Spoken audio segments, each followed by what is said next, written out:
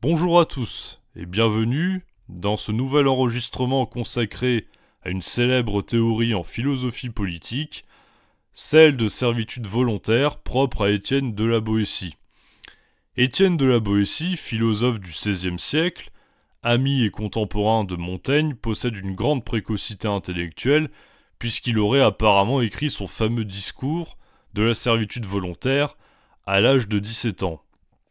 Autrement dit, le jeune Étienne est capable d'écrire un essai philosophique profond et intéressant, là où des jeunes de cet âge font de même, certes, mais de façon nettement plus superficielle, via TikTok et autres outils pédagogiques mis à leur disposition pour accroître leurs facultés intellectuelles. Mais trêve de plaisanterie, il est temps de nous pencher sur le discours sur la servitude volontaire de la Boétie, qui, s'il n'est pas aussi étoffé que les grands textes politiques de Platon, Hobbes ou Rousseau, n'en demeure pas moins un classique de la philosophie politique, on retrouve dans le discours de la servitude volontaire de la Boétie une grande idée dont la seule équivalence demeure le droit de résistance qui existait déjà au sein du droit romain et qui demeure la désobéissance civile. C'est le nom que portera plus tard l'ouvrage de Henri Thoreau, qui est régulièrement cité comme la source de cette fameuse désobéissance civile. Toutefois, Bien que la Boétie n'ait pas utilisé ce terme, il développe l'idée qui lui correspond en esquissant une solution permettant au peuple de reprendre le pouvoir face à un gouvernement tyrannique. Mais le problème philosophique majeur qui oriente la réflexion de la Boétie sur ce point, c'est la perte de liberté du peuple dont ce dernier est responsable puisque la Boétie développe à ce propos le concept de servitude volontaire. Je sais que c'est une idée bien connue, mais il n'en demeure pas moins qu'elle est paradoxale, et que ce point ne doit pas être négligé avant de rentrer dans le texte lui-même.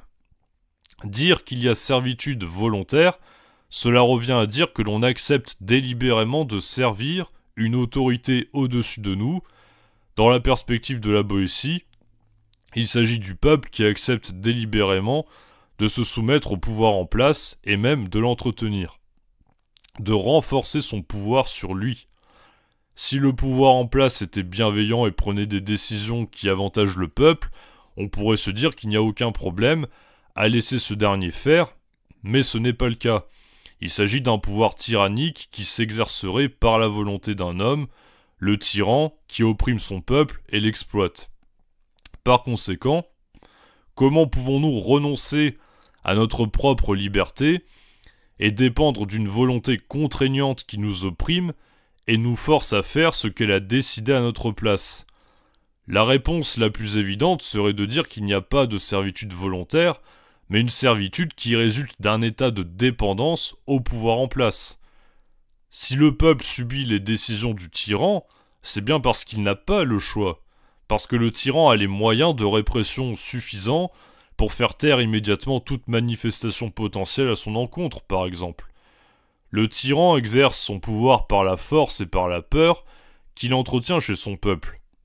De là, il résulte que l'impuissance du peuple face au tyran serait un état involontaire puisque créé par un individu, pas par nous-mêmes.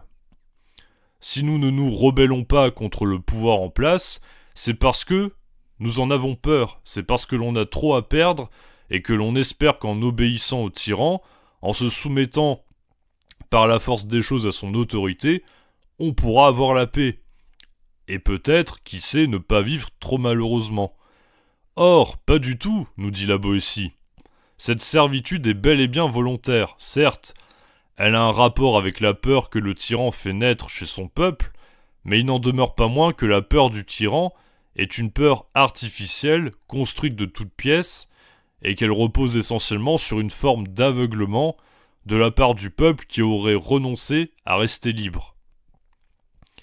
Cette idée apparemment moralisatrice et provocatrice, mais dont on verra qu'il y a une certaine logique derrière, est particulièrement bien développée dans cet extrait emblématique que j'ai choisi de vous lire à présent et que j'analyserai au fur et à mesure. Je cite je préfère vous prévenir qu'à l'âge de 17 ans, la voix de la Boétie avait parfaitement mué. Pauvres gens misérables, peuple insensé, nation opiniâtre à votre mal et aveugle à votre bien, Vous vous laissez enlever sous vos yeux le plus beau et le plus clair de votre revenu, vous laissez piller vos champs, voler et dépouiller vos maisons des vieux meubles de vos ancêtres, vous vivez de telle sorte que rien n'est plus à vous. Il semble que vous regarderiez désormais comme un grand bonheur qu'on vous laissa seulement la moitié de vos biens, de vos familles, de vos vies. Fin de citation. Ici, la Boétie décrit l'état de servitude volontaire comme un état de passivité active. La Boétie dit bien que vous vous laissez enlever sous vos yeux. Il utilise cette expression-là pour désigner cette euh, passivité du peuple, ce qui signifie bien que le peuple accepte de se laisser prendre ses ressources, de se faire voler sans rien faire. Le droit de jouir de ses biens acquis durement par le travail, et dont Locke dira plus tard qu'il est le fondement même de tout contrat social, n'est donc même pas respecté, puisque le peuple accepte de tout donner au pouvoir tyrannique. De plus, le peuple se déleste non seulement de ce qu'il possède, par son travail, mais également de ce qu'il possède par héritage et par filiation, puisque le tyran va jusqu'à lui prendre les biens hérités de ses ancêtres. Le premier paradoxe ne vient pas tant du fait que le peuple accepte de se soumettre, mais le fait que cette soumission soit liée à une erreur de jugement. Le peuple est aveugle à son bien, il ne voit même plus ce qui lui est avantageux et ce qui lui est désavantageux. Il se retrouve comme aliéné au pouvoir en place et estime que si le pouvoir veut lui prendre ce qu'il possède et le dépouiller, alors c'est une bonne chose. Or, qui peut vouloir se faire voler le fruit de son travail? Personne. Pourtant, le peuple veut bien se faire piller par le tyran, car il estime que c'est une contrepartie inévitable s'il veut rester en vie. Pour un peuple qui subit le pouvoir d'un tyran, Rester en vie devient en soi la seule et unique forme de bonheur. La jouissance de ses propres biens, le fait de profiter pleinement de sa vie et de sa famille ne serait qu'un luxe susceptible d'être interrompu à tout moment par la volonté arbitraire du pouvoir en place. Dans ce cas, la solution au problème semblerait simple, il suffirait de renverser le pouvoir en place, mais comment faire une révolte avec un peuple qui a peur? Et surtout, est-ce qu'une révolution serait une solution réellement appropriée? C'est à ce point que la Boétie répond partiellement en identifiant la cause réelle de l'état de servitude volontaire dans la suite du texte, et en déduit ainsi quel est l'ennemi réel du peuple, car jusque-là on pourrait se dire que si le peuple se laisse faire, c'est parce qu'il est menacé justement, et il n'y a donc rien de volontaire dans cette servitude. La Boétie précise donc ce point dans les lignes suivantes, je cite Et tous ces dégâts, ces malheurs, cette ruine, ne vous viennent pas des ennemis, mais certes bien de l'ennemi, de celui-là même que vous avez fait ce qu'il est, de celui pour qui vous allez si courageusement à la guerre, et pour la grandeur duquel vous ne refusez pas de vous offrir vous-même à la mort. Ce maître n'a pourtant que deux yeux, deux mains, un corps, et rien de plus que n'a le dernier des habitants du nombre infini de nos villes. Ce qu'il a de plus, ce sont les moyens que vous lui fournissez pour vous détruire. D'où tire-t-il tous ces yeux qui vous épient, si ce n'est de vous? Comment a-t-il tant de mains pour vous frapper s'il ne vous les emprunte? Les pieds dont il foule vos cités ne sont-ils pas aussi les vôtres? A-t-il pouvoir sur vous qui ne soit de vous-même? Comment oserait-il vous assaillir s'il n'était d'intelligence avec vous? Quel mal pourrait-il vous faire si vous n'étiez les receleurs du larron qui vous pille, les complices du meurtrier qui vous tue, et les traîtres de vous-même? Fin de citation. Ici, on constate donc que la source du paradoxe de la servitude volontaire, qui explique comment le peuple renonce à sa liberté, et surtout que ce renoncement étant volontaire, il ne perd sa liberté qu'en apparence. La Boétie a bien compris que si le peuple se laissait faire, c'est parce qu'il avait peur, mais justement, cette peur est artificielle, elle est liée à l'incompréhension de la mécanique du pouvoir en place, et surtout elle est liée au fait que le peuple croit naïvement qu'il ne joue aucun rôle dans la construction artificielle de la force du tyran. Quand la Boétie dit que les dégâts et les malheurs ne viennent pas des ennemis mais bien de l'ennemi, Il oppose la milice armée que le tyran envoie pour faire taire toute tentative de protestation du peuple, et le tyran lui-même, qui est bel et bien le véritable ennemi. En effet, ce principe s'applique aussi pour les ennemis extérieurs que cette phrase peut désigner puisque la Boétie rappelle que c'est le tyran qui fait de son peuple de la chair à canon, et que c'est bien son peuple qui accepte de mourir pour lui. Or, c'est le tyran qui accepte de rentrer en guerre avec un pays voisin ou de déclarer la guerre. Ses ennemis ne sont pas les nôtres, mais ceux du tyran. Ils deviennent les nôtres que parce que nous acceptons de nous battre pour lui. Pourquoi la Boétie dit ici que le peuple a fait du tyran ce qu'il est? Ce qu'il faut comprendre ici, c'est que le tyran est devenu une sorte de dieu parmi les hommes, il est l'unique décisionnaire du bon ou du mauvais déroulement des événements que va subir le peuple, et donc sa puissance apparaît comme absolue, car personne ne peut ni ne doit s'opposer à son pouvoir. Or, l'idée que l'on retrouve ici implicitement, et qui sera développée dans une perspective différente par Hobbes, c'est que le pouvoir politique en place, quand bien même il ne serait exercé que par un seul homme, n'est que le résultat d'un consentement de volonté individuelle composant le peuple. On croit à tort qu'il faut craindre l'armée du tyran si on ne se soumet pas à lui, et qu'il faut craindre l'armée voisine ennemie du tyran, mais en réalité, ce n'est que le tyran qui est derrière tout ça, et cet ennemi n'a pas la puissance qu'il semble avoir. Il n'a cette puissance que parce qu'une multitude d'individus acceptent initialement de la lui donner. Ici, la Boétie désacralise complètement le statut d'être supérieurement puissant et quasi divin du tyran, avec une succession de métaphores. Les mains qu'il emprunte pour nous frapper, ce ne sont pas les siennes, mais celles des forces armées qui acceptent de lui obéir. C'est en ce sens qu'il dit que ses mains sont les nôtres. Les yeux qui nous espionnent, ce sont également des espions, qui demeurent des personnes humaines, acceptant d'obéir au tyran.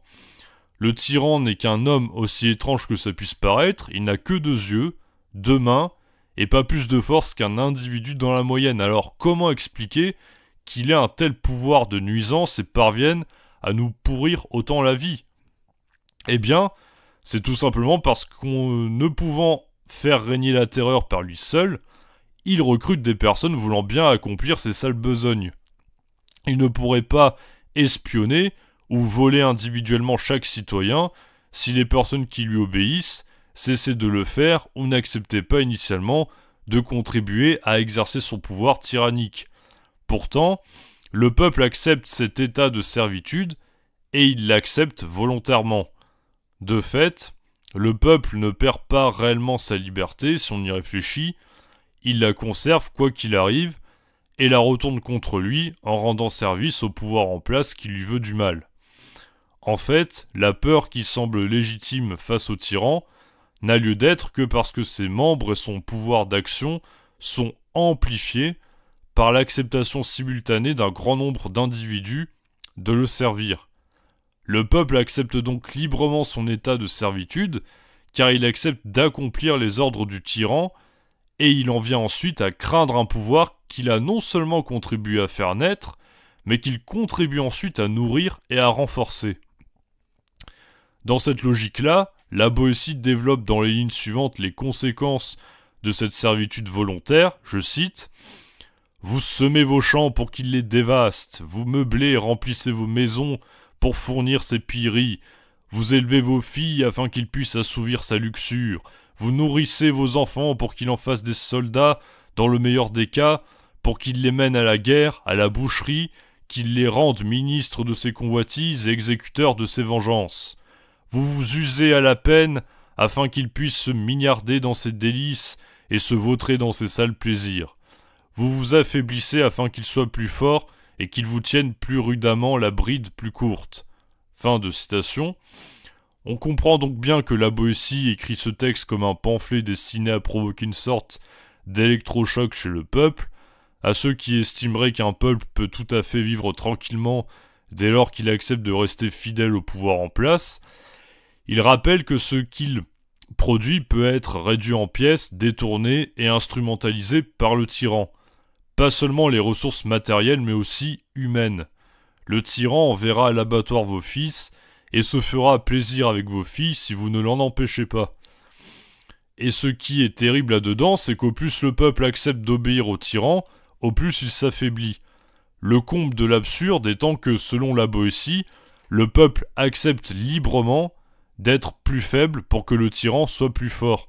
C'est comme si le peuple voulait être encore plus faible, encore plus démuni, comme s'il était son propre destructeur, puisque je rappelle qu'il a identifié le fait de céder au tyran comme un bien, voyez? Donc au plus il va lui obéir, au plus il va devenir faible, et au plus ce sera dur pour lui de reprendre le dessus.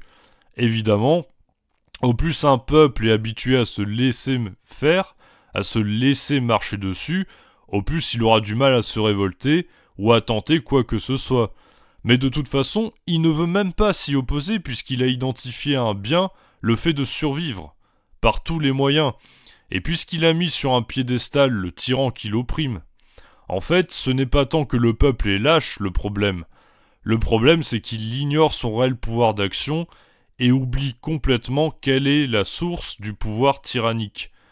Si on demande à chaque soldat ou chaque espion qui accepte de servir le tyran pourquoi il fait ça, peut-être que la plupart répondront qu'ils ont peur. Oui, mais de quoi? D'un pouvoir qu'ils contribuent à servir par leur action et qui ne serait rien sans leurs actions. La question qui se pose, maintenant, que la Boétie a démasqué le pouvoir en place, et a montré le caractère factice de la peur que fait naître le tyran chez le peuple, c'est on fait quoi? C'est bien beau de rappeler que le tyran ne serait rien si le peuple n'acceptait pas de le servir, mais il n'empêche qu'il le sert aveuglément, et que si des citoyens prennent conscience de cette dimension artificielle du pouvoir tyrannique, et qu'ils essayent de le renverser, ils risquent de se mettre en danger, puisque la violence appelle en retour à la violence, et que l'on ne peut pas s'attendre à ce que tout le monde cesse d'un coup de servir le tyran et veuille se rebeller contre lui. La révolution est-elle une solution viable pour mettre un terme à un pouvoir tyrannique en place par ailleurs? La solution que propose la Boétie est ce que l'on nommera donc la désobéissance civile et qui apparaît clairement dans les lignes suivantes, je cite, et de tant d'indignité que les bêtes elles-mêmes ne supporteraient pas, si elles les sentaient, vous pourriez vous délivrer si vous essayez, même pas de vous délivrer, seulement de le vouloir. Soyez résolu à ne plus servir, et vous voilà libre. Je ne vous demande pas de le pousser, de l'ébranler, mais seulement de ne plus le soutenir. Et vous le verrez tel un grand colosse dont on a brisé la base, fondre sous son poids et se rompre. Fin de citation. Dans ce passage très connu et laissé à la postérité, ce que dit la Boétie, c'est que la réponse logique au pouvoir tyrannique n'est pas la révolution, qui serait une forme de violence, amenant à la violence et, qui revient se mettre soi-même en danger.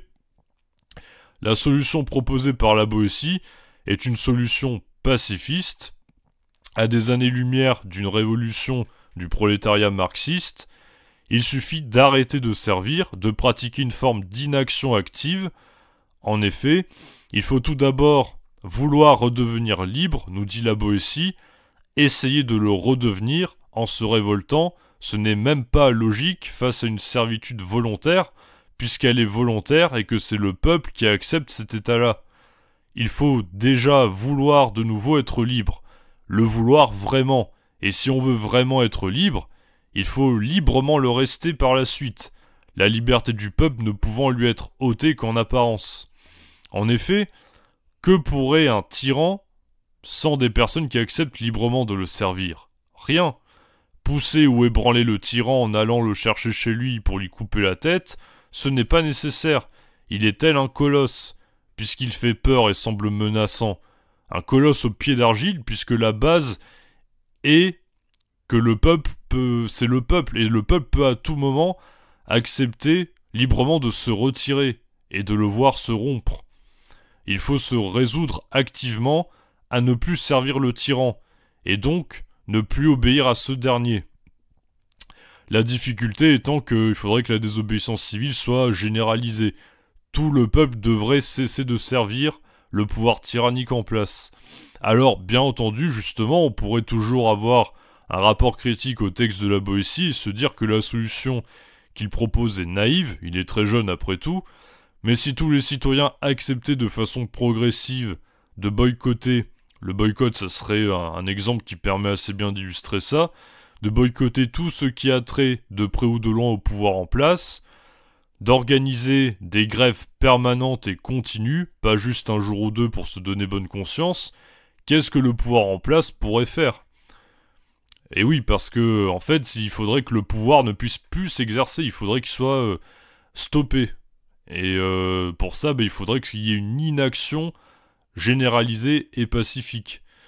Sans doute trouverait-il le tyran encore quelques individus zélés pour accomplir ses ordres, mais il n'empêche que la Boétie a peut-être vu juste sur un point. Si le peuple qui donne son pouvoir au tyran en lui obéissant ne lui obéit plus, comme au nom d'un seul homme, le tyran ne peut plus gouverner, puisque ce n'est que la force du peuple qu'il retourne contre lui quand il exerce son pouvoir tyrannique. Il s'agit donc de pratiquer un non-agir, qui n'est pas sans évoquer la sagesse taoïste antique, ou ce que mettra en place plus tard Gandhi, qui aurait lu Taureau justement, une désolidarisation active et permanente à l'encontre du pouvoir en place qui visera à montrer par là qu'il ne peut rien sans le peuple, et donc qu'il ne peut pas gouverner indéfiniment contre le peuple. Ce que l'on peut retenir de profond et de fort avec ce grand texte de la Boétie, c'est qu'au-delà du tyran qui exploite le peuple et le conduit à la dégradation progressive de ses conditions de vie, s'il y a bien un ennemi que le peuple ignore, et qui lui est nuisible, c'est lui-même. Je vous remercie de m'avoir écouté, et je vous souhaite une excellente journée ou soirée. À bientôt